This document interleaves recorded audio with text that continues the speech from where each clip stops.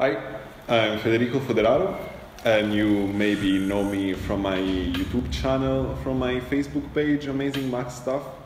During the five days of the workshop, I'm going to cover different topics related to making visuals inside the software Max MSP. And uh, I'm going to start from a really ground level, and uh, I will go up to quite an advanced level, introducing topics like uh, working with JavaScript inside the Max for the visuals, uh, working with the GLSL shaders, and uh, working, for example, also with uh, devices like the Kinect.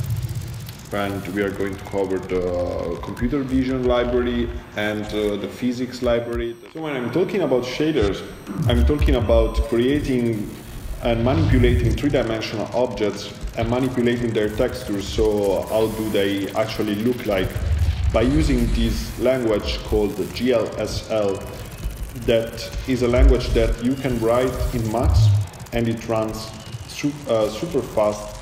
During the workshop, I'm also going to cover JavaScript inside Max.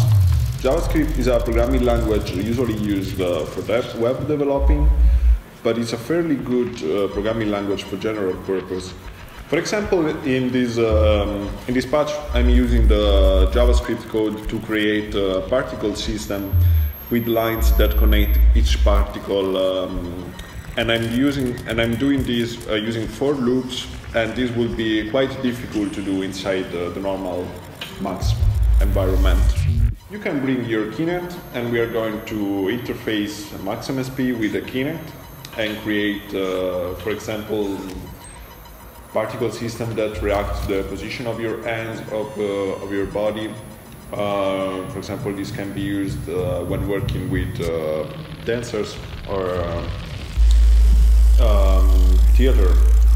And we are going to see uh, the OpenCV library that can be used for similar purposes.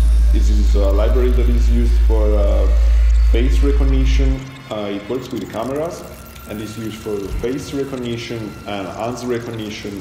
And we are going to see the physics library that is, that is already inside Max and that can be used to build interesting simulation of world physics.